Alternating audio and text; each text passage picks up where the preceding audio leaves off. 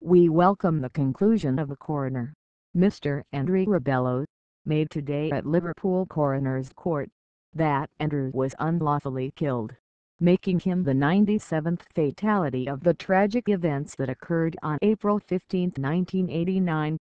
Liverpool FC also released a statement which said, Liverpool Football Club is deeply saddened by the passing of Andrew Devine, who died yesterday at the age of 55.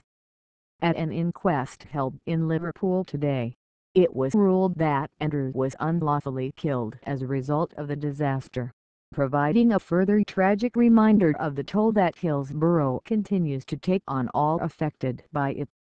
Andrew's sister Wendy and brother Graham spoke ahead of the 25th anniversary of the disaster in 2014 and said how the love and care their family is showed for Andrew had been the glue which had kept them together.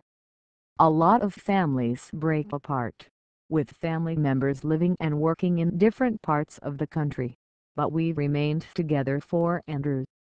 And family feuds are not an option for our family because we have something far more important to do. Be there for Andrew, the most important member of the family.